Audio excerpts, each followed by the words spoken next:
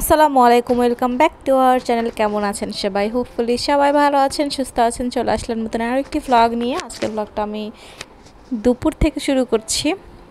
ইফতারের জন্য আমি কিছু ফ্রুটস কেটে রেখেছি আর লেবু শরবত করা হবে, এই জন্য পুদিনা পাতা ছিল, সেটা বের করে নিয়েছি।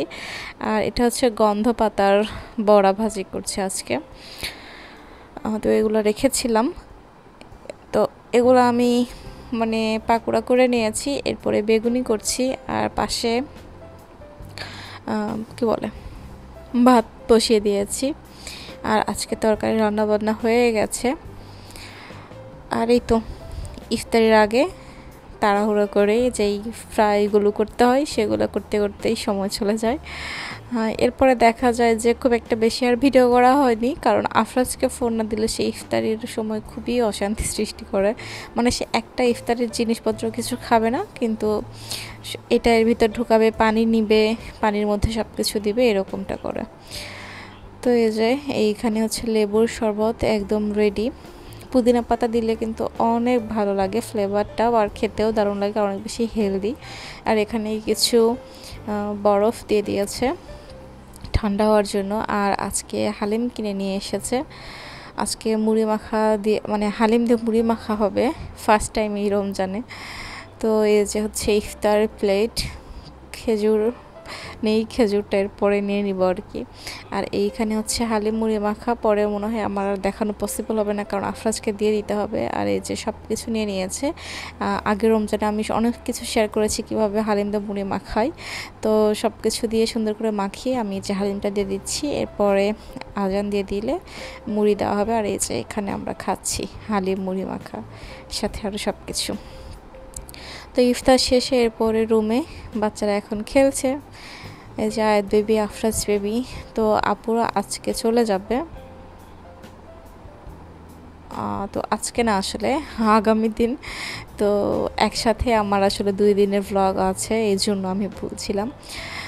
আর এখানে হচ্ছে শেষ রাতের জন্য আমি আবার তরকারিগুলো গরম করে নিচ্ছি করলা আলুর চচ্চড়ি, মাছ দিয়ে আর শেষ রাতের জন্য ভাতও বসিয়ে দিয়েছি।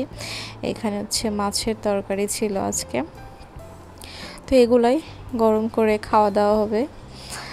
আর শেষ রাতের খাবার দাবার আমি খুব একটা বেশি ভিডিও করি না। শেষ রাতে শুধু ভাতটা আগেই রান্না বান্না করে রাখি, সেই সময় দেখা যায় একটু ভিডিও করি, পরে আসলে ওরকম করে আর ইচ্ছাও করে না। তো একটু মানে নিজের মতো করে থাকার ট্রাই করি তখন।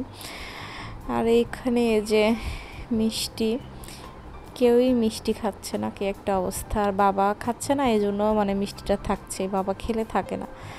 আর এইখানে আফরাজ বলছে ফ্রেঞ্চ ফ্রাই খাবে ফ্রেঞ্চ ফ্রাই খাবে। তো বাধ্য হয়ে আফরাজকে আগে ফ্রেঞ্চ ফ্রাই করে দিচ্ছে, আলু সেদ্ধ বসিয়ে দিয়েছি। তো যেহেতু আবার টাটকা আলু পাঠিয়েছে, ভাবলাম টাটকা টাটকাই করে দেই। আর অনেক দিন ধরে, কয়েকদিন ধরে খেতে যাচ্ছে। আমি আসলে করে দিচ্ছি না, ওর খাবারে রুটিন মিলছে না, অন্য খাবার খাওয়াবো। এই জন্য তো ভাবলাম আজকে করে দিই। পাশে যেহেতু সেরের জন্য ভাতও বসিয়ে দিয়েছি, তো এটা কিন্তু মাঝরাতে এখন সে এখন ফ্রেঞ্চ ফ্রাই খাবে।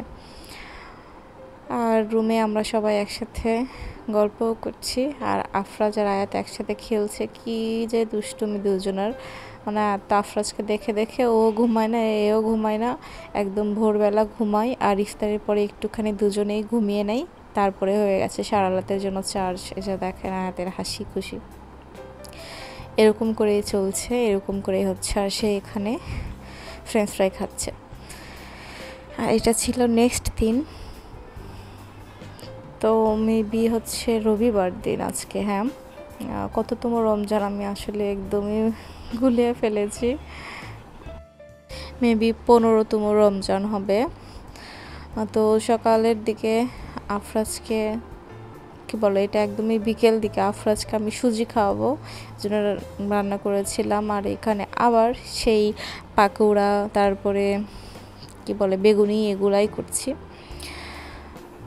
তারপরে এই তো রান্না বান্না আজকের ইফতারি টাইম। আর আজকে হচ্ছে মাংস দিয়ে লাউ রান্না করা হয়েছে।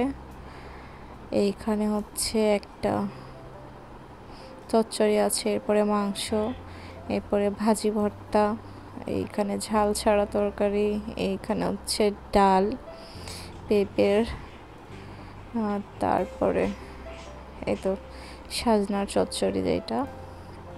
এগুলোই ছিল। বুন্দিয়াও করা হয়েছে। তো এখানে আমার ভাজাভুজি মোটামুটি কমপ্লিট এরপরে আবার ইফতার টাইম মানে প্রতিদিন এরকমই হচ্ছে। বাকি আর ঘুমানো, নামাজ পড়া বাচ্চার রুটিন শেয়ার মানে কি শেয়ার করব? ওরকম করে আর হচ্ছে ওনা অনেকটা মানে ঘুম থেকে উঠলে একদম তাড়াহুড়ার মধ্যে যেতে হয়। সব একটা না করতে করতে মানে ওরকম করে দিনকাল যাচ্ছে এখন রমজানের আর কি। তো রমজান মাসটা আসলে খুবই ভালো লাগে। আর শুরু হয়ে গেল কয়েকদিন আগে, দেখতে দেখতে অর্ধেকের বেশি রমজান চলে গেল এখন। তো ইফতার পরে যে খেলাধুলা চলছে, দেখেন আফরাজ আর আয়াত মিলে কি খেলা খেলছে। দুজনেই খুব খুশি, লাফালাফি, ধাক্কাধাক্কি এখন হচ্ছে ইফতারের আগ মুহূর্ত এটা, ছয়টা বাজে। আরও তিরিশ মিনিট আছে ইফতারির। আমার আজকে একটু ভাজাভাজিগুলো আগেই করে নিয়েছি। আফরাজকে আসলে খাওয়ানোর জন্য ও খেতেই চায় না। ওর খাবার পুরো উল্টাপাল্টা। দিন এসে মাত্র একবার খায় আর ইফতারের পরে আবার একটুখানি ওকে খাওয়ানোর সুযোগ পায় না। তো দেখা যায় যে আমার টাইম হয় না। আমি ছাড়া আবার ওকে কেউ খাওয়াতেও পারে না। খুবই প্রবলেম হয়ে যায়। সে না খেয়ে না খেয়ে অবস্থা। এখানে যে তারা এখন ছবি তুলছে। আর আমি এখানে বুমেরাং করছি। কী কী চলছিল সব। তাই তো, এভাবেই আসলে দিনকাল যাচ্ছে। তো এখন ইফতারের জন্য ওয়েটিং এরপর আমরা টেবিলে চলে যাব। আর দুজনই জেগে আছে যে এরা মাঝখানে এই কয়েকদিনের মধ্যে একদিন শুধু দুজনই ইফতারের সময় ঘুমিয়েছিল। নয়তো প্রতিদিনই ইফতারের সময় জেগেছিল। কি একটা অস্থির অবস্থা। মানে বাচ্চারা জেগে থাকলে আসলে ইফতার করা খুবই টাফ হয়ে যায়। তারপরে আফরাজকে নিয়ে তো আমি এক একা অনেক করি। আফরোজকে নিয়ে অনেক কিছু করা হয়, আমার হ্যাবিটও হয়ে গেছে। এরপরে রাতের বেলা আমরা এখানে বসে বসে পেয়ারা খাচ্ছি।